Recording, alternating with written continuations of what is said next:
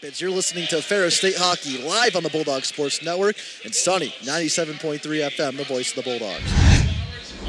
First time of ice since getting kicked out Friday at Ohio State for both games in Columbus. Schmidt headmans the puck up, left wing side. Kane on the shot, save made, loose rebound. Far side now, top of the circle, a shot. Nelson with the save and a stoppage of play. 12:52 to go in the first, no score. Nelson.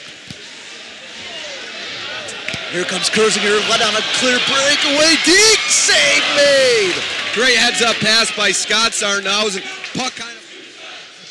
Bouncing puck over Shelgren's stick. Here comes Schmidt. Lots of speed. Bottom of the right circle. Cutting into the net. And he takes down Yannick. And a delayed penalty call coming. And the official, I believe, will initiate the opposite way. That's a Cardinal sin to get those two confused. Slap shot Billings from the left circle as he gains the Ferris State or Michigan ball. Getting held up. Now Johnson. Far side. Into the slot. Johnson off this stick. He wasn't expecting it to the, the Dominic Hennig alongside Dan Kowalski on the Bulldog Sports Network. Thanks for tuning in. Up the right wing now. Crandall. He backhands this in. That went in.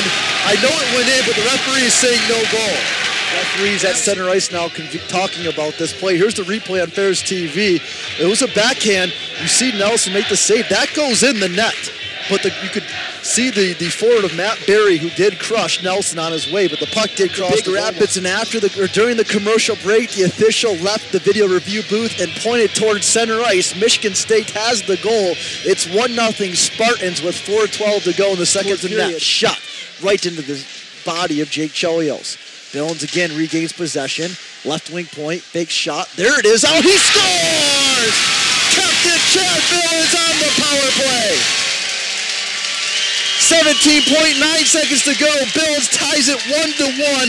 And how huge is that goal for Ferris State?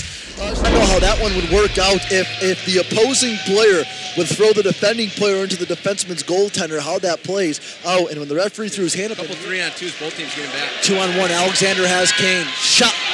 Pass across and uh, just pass, pass. White trim with green helmets. Spartans into the neutral zone now. It's Crandall with the puck.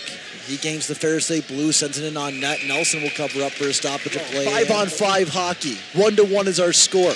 Bulldogs break out into the neutral zone here. It's Graham. Could come into the slot. Good pass. Score! Well. Kersinger wins a draw to Thompson, and the crowd erupts again with 10 seconds to go. Thompson able to clear this. The Bulldogs will defeat the Spartans as Johnson picks up and misses the net for an empty cage goal.